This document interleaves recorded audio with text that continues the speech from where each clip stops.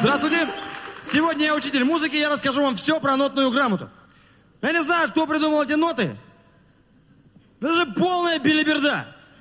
Ну что отсюда может понять нормальный человек? Лично я для себя отсюда вынес только одно. Что Моцарт траванулся в 1791 году, все.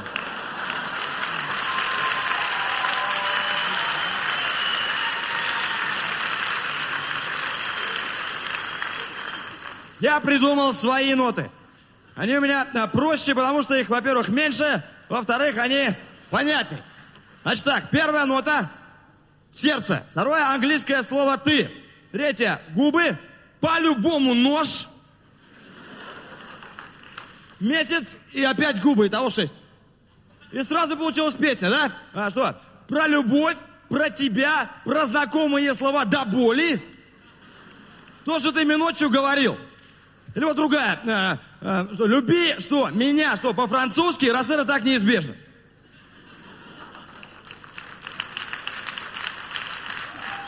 Тенденция последних лет такова, что вообще практически все песни пишутся на одной ноте. Ну, давайте сейчас что-нибудь из классики, да, вот. Силы на исходе, и кровоточат раны, жить еще не поздно, а умирать так рано, я теряю корни. И улетаю в небо от тех, кого не помню, туда, где еще не был. Ну, чисто спонтанно автоматик ввел.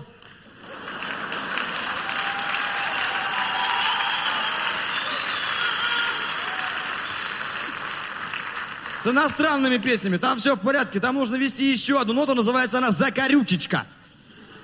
Значит, ну давайте вот так вот она рисуется, вот, допустим, три вот таких закорючечки, вот, да, даже четыре, и губы. И что у нас получилось? Поем вместе. Сигидигидим дим кля, сигидим дигидим дим кля, сигидигидим кля, я каларсам, муа-муа.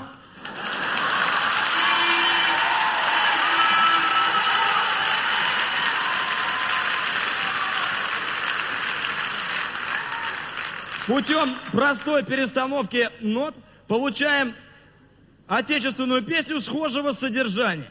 Значит, тут еще одна загорючка и вот так, да? Вот. Что получается у нас? Попробуй, м-м, попробуй джага-джага, попробуй а-а и рот второй октавы.